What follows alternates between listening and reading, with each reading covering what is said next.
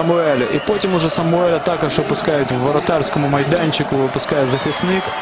І ще раз так, Ранок я робить передачу після подачі Снайдера.